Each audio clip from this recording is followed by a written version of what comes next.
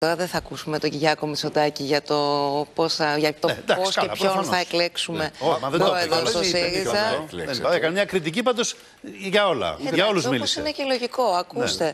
προφανώς ο Κυριάκος Μητσοτάκης φοβάται ένα ΣΥΡΙΖΑ ο οποίος μετά τον ελέξη Τσίπρα θα βρει το βηματισμό του, θα κάνει τις επιλογές του, θα υπερβεί τις αδυναμίες του, θα ξανασυναντηθεί με στρώματα που είδαμε στις ε, τελευταίες εκλογές να μας γυρίσουν την πλάτη.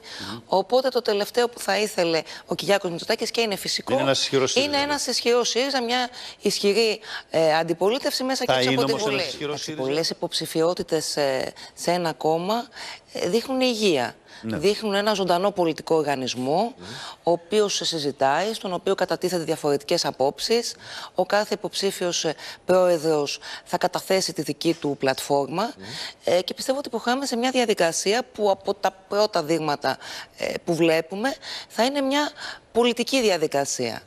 Γιατί και προσωπικά και θεωρώ ότι. Εσείς έχετε και κάποια στους περισσότερους προτίμηση σε κάποιον μας υποψήφιο; ξενίζει, θα σας πω, μας ξενίζει μια διαδικασία ε, μάχης ε, μηχανισμών. Ναι. Άρα θέλουμε να είναι μια πολιτική διαδικασία όπου θα είναι πολιτικά προγράμματα και πολιτικές θέσεις που κατα- θα, θα κατατεθούν όχι μόνο ε, στα θα γίνουν μέλη, στην Κεντρική Επιτροπή όχι τώρα, μόνο στα μεθαύριο, μέλη αύριο, του μεθαύριο. κόμματος ε, και στην Κεντρική Επιτροπή και φυσικά ε, σε όλη τη διάρκεια αυτής της, ε, ε, της περίοδου μέχρι την ε, ε, ανάδειξη του Προέδρου ή της Προέδρου. Καταλαβαίνετε ότι εγώ έχω ένα θεσμικό ρόλο και μαζί με τον αναπληρωτή γραμματέα, τον κύριο Βασιλιάδη, προσπαθούμε να διαφυλάξουμε τις διαδικασίες, να είναι συντεταγμένες, Δεν θα να είναι πάρετε θέση, λέτε, οργανωμένες. επομένως. Ε, Εντάξει, εννοείται ότι δεν θα ε, πάρουμε θέση. Και αυτό που μας ενδιαφέρει και θα έλεγα όχι ε, προσωπικά, αλλά συνολικά τα μέλη και τα στελέχη του κόμματος και φυσικά και τους υποψήφιους προέδρους είναι όσο το δυνατόν περισσότερος κόσμος να βρει ενδιαφέρουσα αυτή τη διαδικασία, να προσέλθει, όπως λέμε, ε, στις κάλπες ανάδειξης, να συζητήσει Ώστε να είναι για και τις ισχυρό το διαφορετικές αποτέλεσμα, να υποψηφιότητες. στέλνει- να Αυτή στέλνει τη εκεί. στιγμή είμαστε η αξιωματική αντιπολίτευση. Είμαστε μια δύναμη της κυβερνώσα αριστεράς. Δεν είμαστε ένα κόμμα διαμαρτυρίας ή μια συμπληρωματική δύναμη στην κυβέρνηση. ε, που προφανώς έχουμε εισέλθει εκ των πραγμάτων σε μια νέα φάση. Ε, και αυτή η νέα φάση, αυτή η νέα εποχή ε, θα πρέπει να σημαδευτεί και από αλλαγές στο κόμμα. Γιατί πρέπει να υπερβούμε τις δικές μας αδυναμίες, τις δικές μας παθογένειες. Πράγματα τα Αλλαγές οποία τι εννοείτε εντοπίστηκαν στη δομή και του στην κόμματος, προεκλογική στην, στην περίοδο. ιδεολογία, στην αντίληψη, στο προς τα που πάει. Στον τι τρόπο εννοείται με τον αλλαγές; οποίο προσεγγίζουμε την νεολαία, στον τρόπο με τον οποίο προσεγγίζουμε ε, τους εργαζόμενους, τους ε, μικρομεσαίους, στον τρόπο με τον οποίο επικοινωνούμε το μήνυμά μας. Δηλαδή, ο ρόλος μιας αντιπολίτευσης είναι να στέκεται απέναντι σε όσα θεωρεί ότι είναι σε βάρος των, των συμφερόντων που το κάθε κόμμα εκπροσωπεί, των κοινωνικών συμφερόντων και των κοινωνικών δυνάμεων που κάθε φορά Ε, το εκπροσωπεί και προηγούμενο βέβαια να διάστημα δεν καταθέτει ήταν αυτή η προτάσεις στο πλαίσιο μιας τεκμηριωμένης αντιπολίτευσης. Ναι. Και πολλές φορές ε, ε, το μήνυμά μας έχει θολώσει.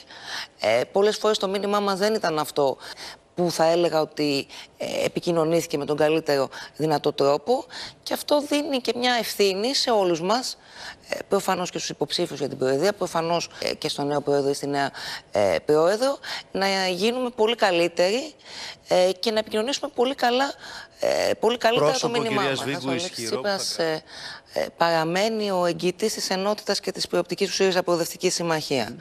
Ε, και πιστεύω ότι ο ρόλος του θα είναι καθοριστικός και την επόμενη περίοδο και θα θα συμβάλλει και ο ίδιος ώστε το κόμμα μας να προχωρήσει όσο το δυνατόν πιο συντεταγμένα. Θα σας έλεγα να μην ανησυχείτε και να μην ανησυχεί κυρίως ο Πρωθυπουργός ο Κυριάκος Μητσοτάκης. Ο ΣΥΡΙΖΑ και θα βγει πιο ισχυρός από αυτή τη διαδικασία ε, και θα βγει πιο ενιαίος ε, και αυτό πιστεύω ότι είναι ε, αυτό για το οποίο εργαζόμαστε όλοι. Δεν υπάρχει κάποιος υποψήφιος που το διασφαλίζει περισσότερο αυτό; Αυτό είναι Δηλαδή, κάτι που θα το κρίνουν θέλω να πω τα στο- μέλη και οι φίλοι του κόμματος στο- που θα εντάξει, ψηφίσουν. στο δικό σου. Σας είπα, αυτό θα το κρίνουν ε, τα μέλη του κόμματος, τα οποία θα δουν όλες τις ε, τις θέσεις ε, των υποψήφιων ε, αρχηγών, θα, θα κρίνουν τις διαφορετικές ε, απόψεις και βέβαια την επόμενη μέρα όλοι συντεταγμένα θα σταθούμε στο Θα σταθείτε. πλευρό, στο πλευρό του Είναι η νέου αρχής Προέδρου της του ΣΥΡΙΖΑ. διαδικασίας. Πολιτικά συζητάμε.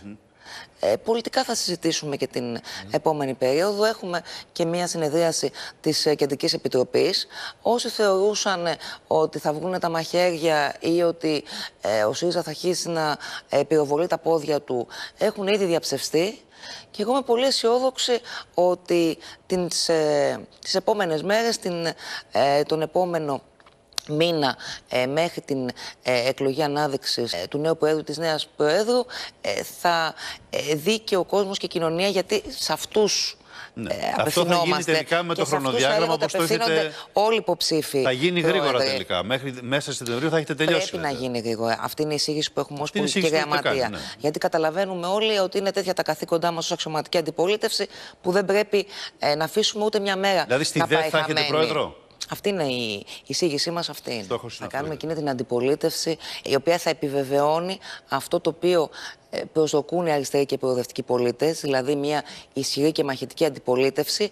Ταυτόχρονα, βέβαια, όμως, διορθώνοντας όλα όσα έγιναν την προηγούμενη περίοδο και μας τύχησαν ε, σε επίπεδο ε, κοινωνικών εκπροσωπήσεων και σε επίπεδο φυσικά εκλογικών ποσοστών. Θα τα συζητήσουμε αυτά και την επόμενη περίοδο, δηλαδή τι στήχησε και ποια ήταν ε, τα αίτια της, ε, δική μας, ε, των δικών μας ε, πιο μειωμένων εκλογικών ποσοστών. Αλλά θα σας έλεγα ότι αυτή είναι μια συζήτηση που πρέπει να την κάνουμε και με την κοινωνία. Δεν μπορούμε να την κάνουμε ρήμη της κοινωνίας. Ναι, στο συνέδριο Όπως- έτσι κι αλλιώς θα τα συζητήσετε αυτά. Στο Θα συνέδριο τα θα γίνει αυτή η συζητήσουμε και στο κουβέντα. συνέδριο Το και που μέχρι χάσατε τότε την επαφή προφανώς σας, και στις δηλαδή. οργανώσεις του κόμματος. Και εννοείται ότι όλα τα μέλη και τα στελέχη του κόμματος οφείλουν να τοποθετηθούν σε αυτό το πλαίσιο. Ε, Τη μέλη συγκεντρική θα- επιτροπή είναι που θα οριστικοποιηθεί το χρονοδιάγραμμα.